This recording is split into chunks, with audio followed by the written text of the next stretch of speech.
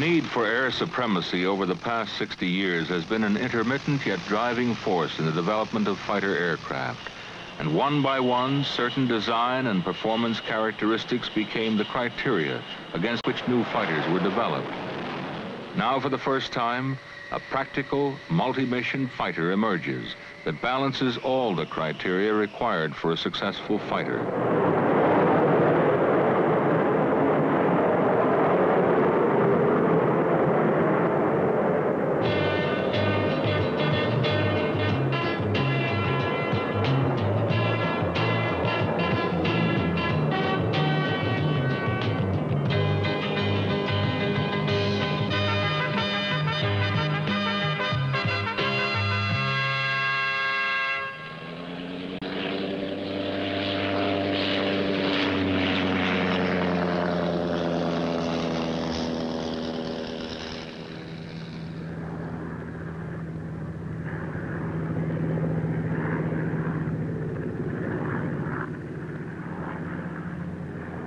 When you consider that man had just succeeded in sustaining powered flight for a matter of seconds in 1903, it was more astounding that in 1917, an agile flying machine mounting synchronized guns was influencing the outcome of large-scale war on the Western Front and forging a doctrine of air supremacy that would affect the conduct and outcome of all subsequent wars.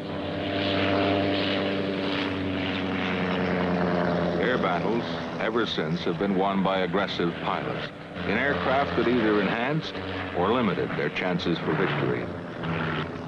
Success in aerial combat was related to their ability to see the enemy first, put him on the defensive, outperform, and destroy him.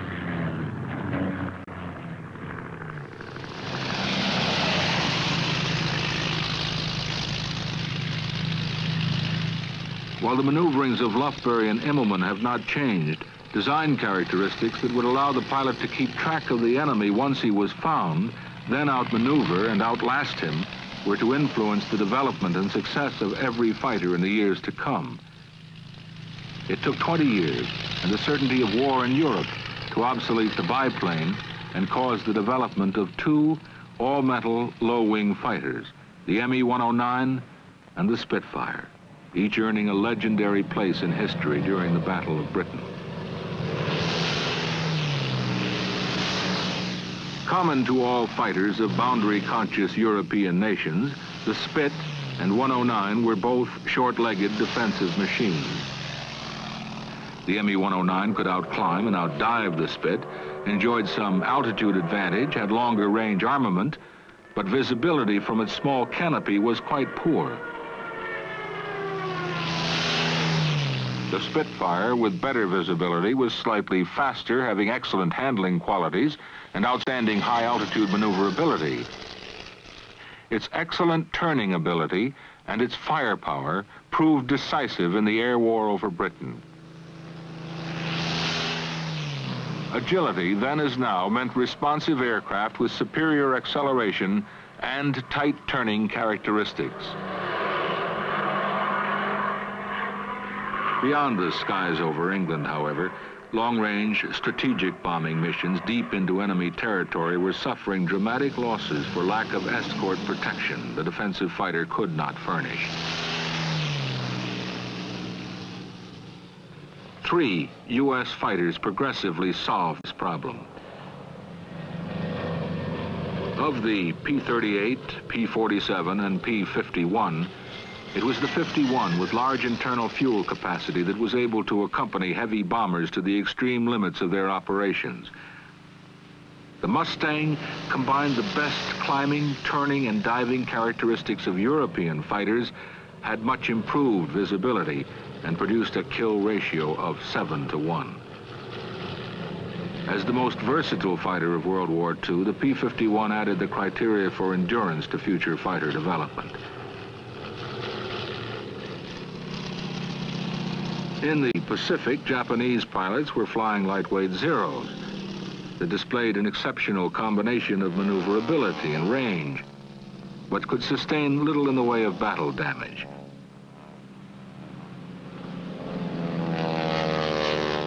Even though our own Navy fighters, like the durable Hellcats and Corsairs, were less maneuverable than the Zero, their ruggedness and heavier firepower provided the margin of victory.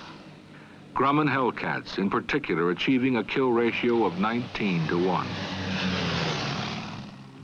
Post-war fighter development went into the doldrums much as it did after the First World War, with one exception. The Russians, recognizing the decisiveness of air superiority in World War II, intensified their development of fighters, and less than five years later, the U.S. experienced the growing technological know-how of its former World War II ally when F-86s engaged superior Soviet-built MiG-15s in Korea. After flying from Seoul to the Yalu, it was only a better trained and experienced combat pilot using improved tactics in a rugged swept-wing Sabre that maintained a margin of air superiority over North Korea. Although air combat over Korea still used close-in weapons, guns and rockets, it was now jet-powered, and the relatively tight turn of World War II was getting larger.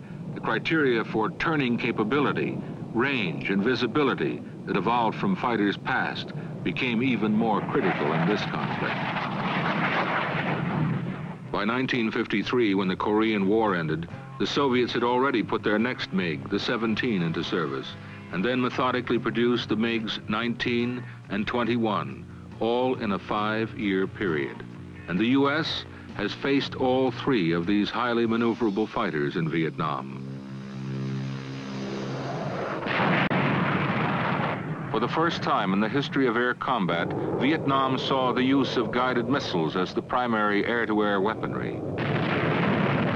U.S. fighters using mid-range Sparrow missiles were able to destroy enemy aircraft beyond visual contact using a radar weapon system that detects, acquires, launches, and guides this missile to the target. When close-in combat was experienced, the infrared guided Sidewinder accounted for most MiGs destroyed by U.S. fighters.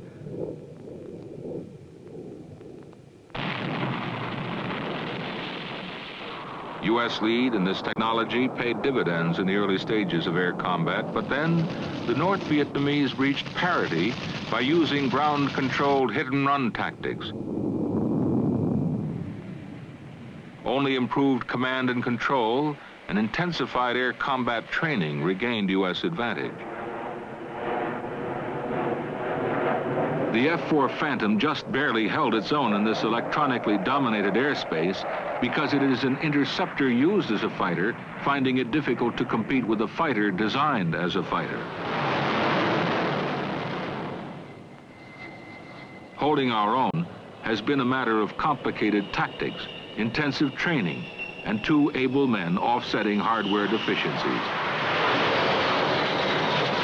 This is an expensive and time-consuming remedy and would be futile if we found ourselves either without the time to accomplish it or up against an enemy with equal or superior skills coupled with better machines.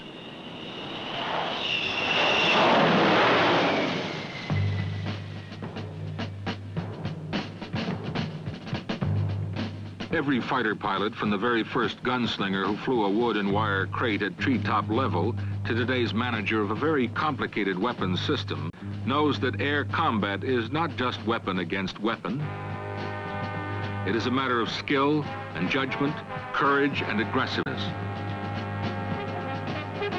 It is knowing those things about his own machine that might kill him rather than the enemy, a knowing of weaknesses in the enemy's airplane to be exploited, and having a healthy respect for the enemy's capability.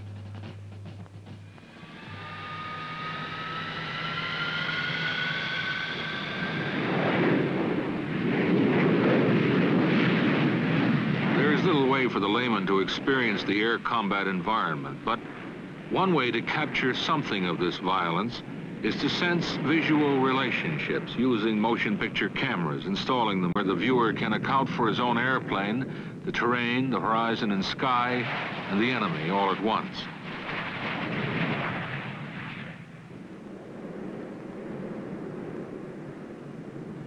Flying like you plan to fight is the jargon of simulated combat. One man in an F-8 against two in an F-4. Crusader against Phantom, standard Navy fighters. The imperative, find the other guy first.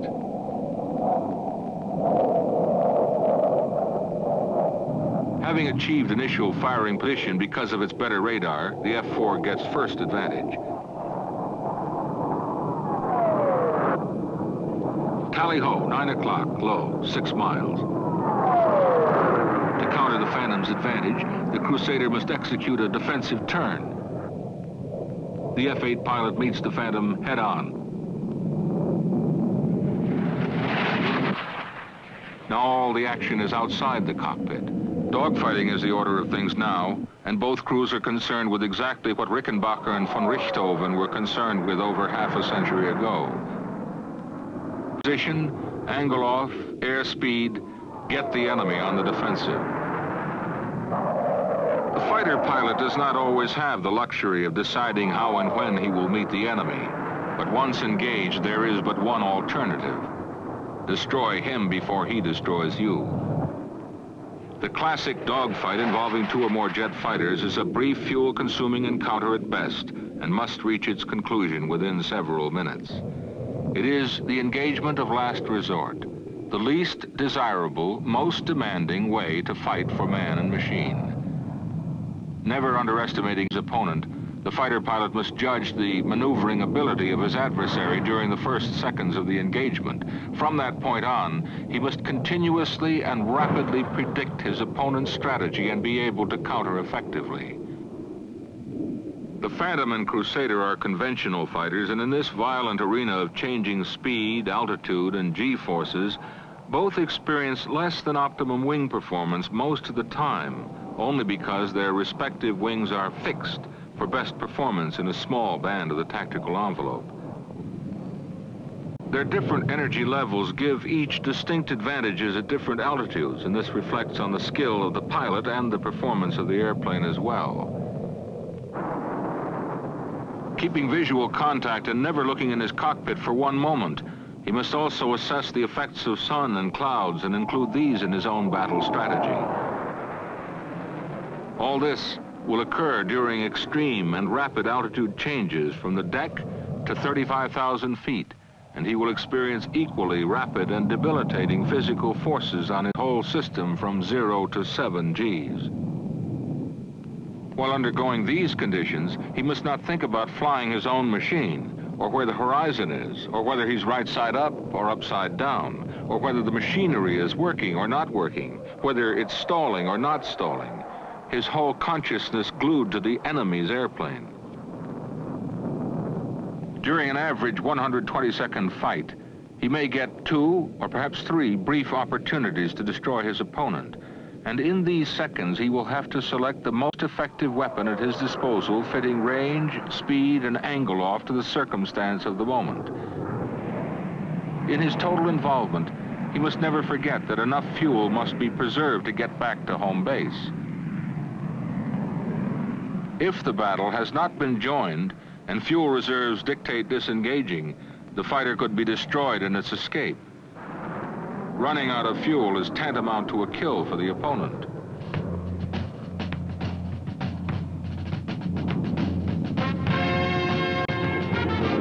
Today's air combat training involved two airplanes. Tomorrow it could be four or six.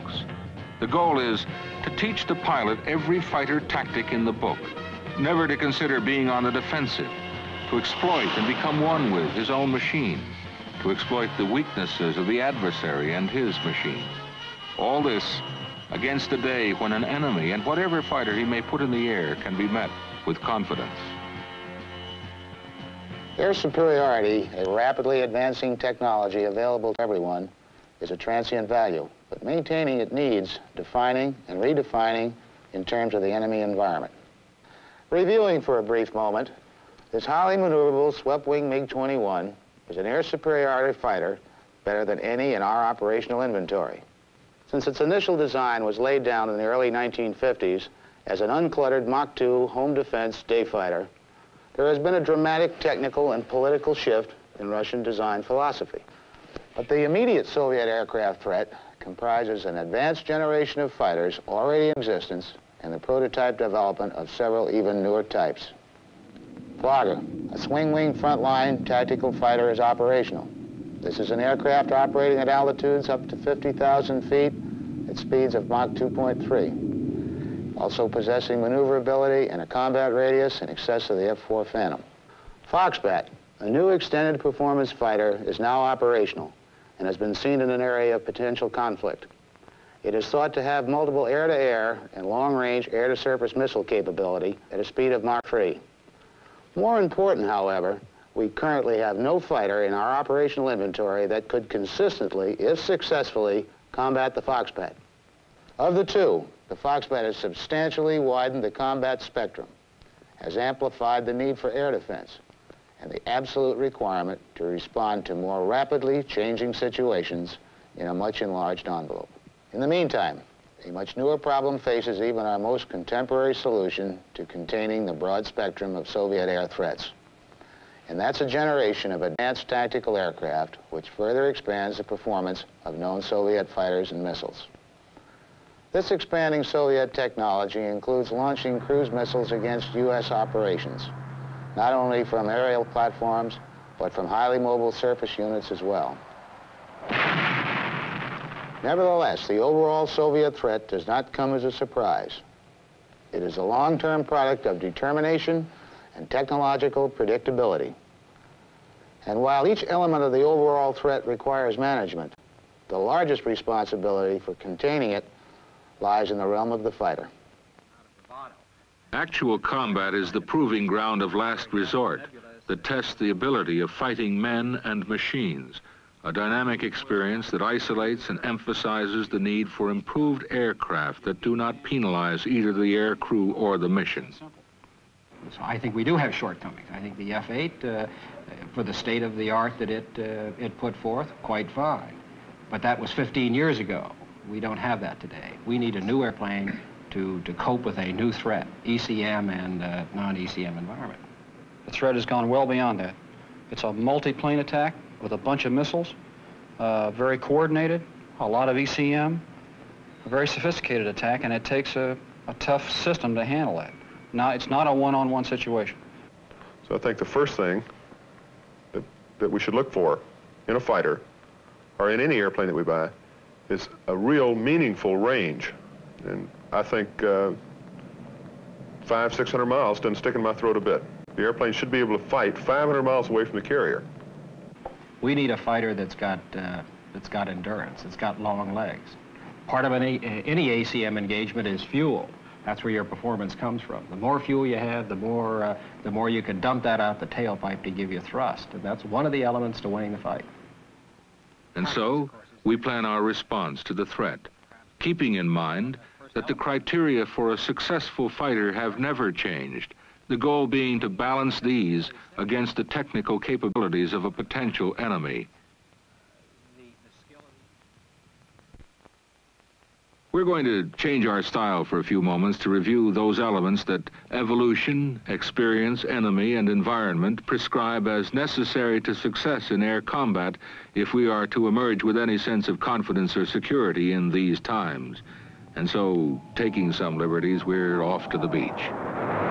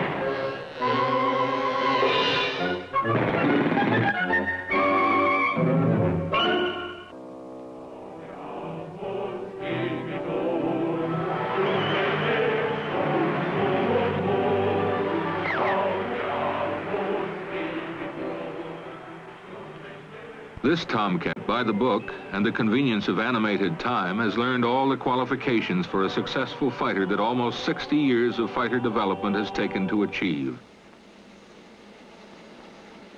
His all-metal counterpart is the Grumman F-14, the Navy's new generation, no trade-off, no compromise air superiority fighter.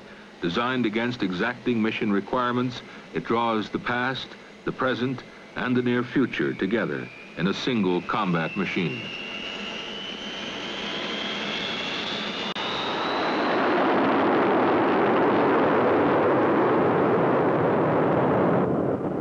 The F-14, combining exceptional power and a variable sweep wing, has the energy and maneuverability vital to controlling fighter engagements. Tomcat's ability to automatically adjust its wing to its speed allows for unmatched agility in close turning combat. The initial impression is that a plane that size uh, just can't turn like it does. Uh, we for years have been watching the threat type aircraft or simulation or the threat itself from over our shoulder because they can outturn uh, any fighter we've had in, in Vietnam, F-8s and F-4s. So here we give a fighter the capability to turn when you put that in combination with the vertical capability of the aircraft, uh, you always shaking your head and say, you know, it's just not possible for an airplane to turn like this.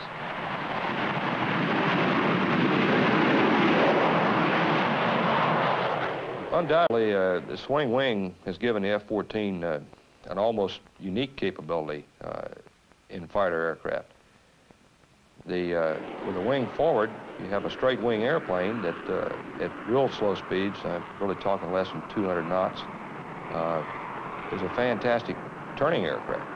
It compares, uh, probably compares favorably with a T-28. With a, with a wing aft, uh, the airplane surprised all of us with the, with the turn capability it has. If you look at it very simply, however, it's a delta wing airplane with a wing at, at 68 degrees. And delta wing airplanes are known turners.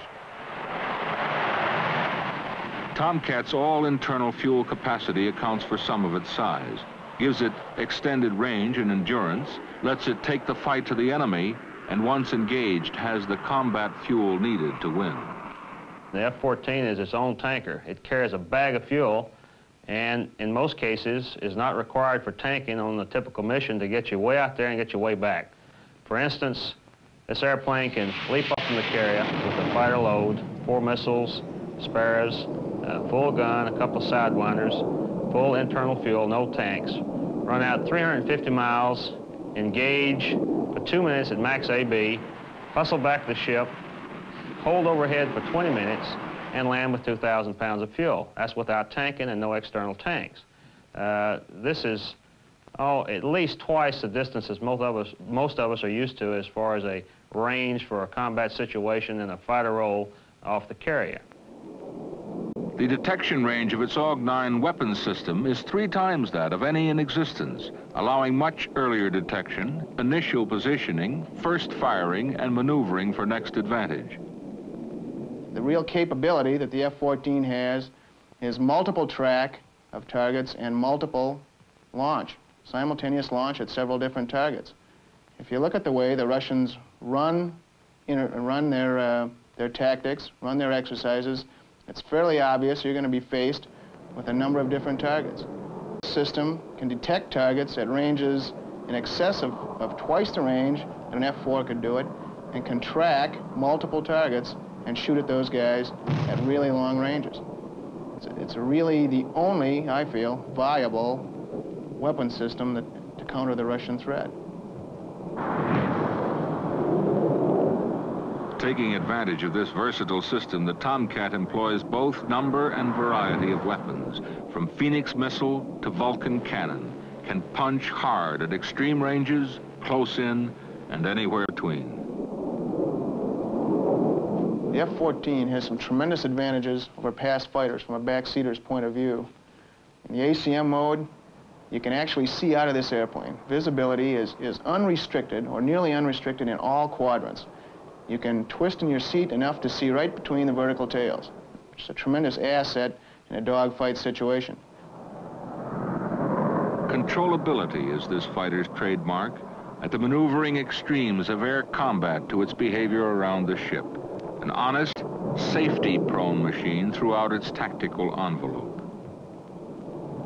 I think the, one of the big advantages that the swing wing obviously is going to give us is the shipboard role. Uh, we've got an airplane that that's going to come aboard ship at less than 120 knots with the uh, design specifications on the, on the landing gear as far as withstanding high sink rates. Uh, we've got an airplane that should, I say should, have a very impressive uh, safety record. When Tomcat is based ashore, its STOL-like qualities allow it to land in 1,800 feet and get airborne again in 900 feet, completing the entire evolution in less than 3,000 feet.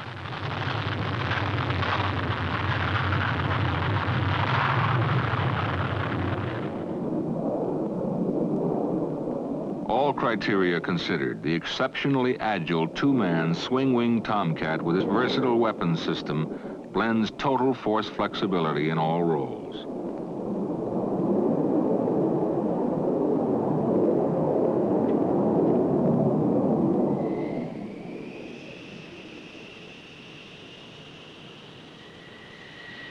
Since there are no points for second place in air combat, the F-14 is by design a criteria-conscious combination of hardware and performance that allows us to match wits with any situation an enemy might create now or in the near future.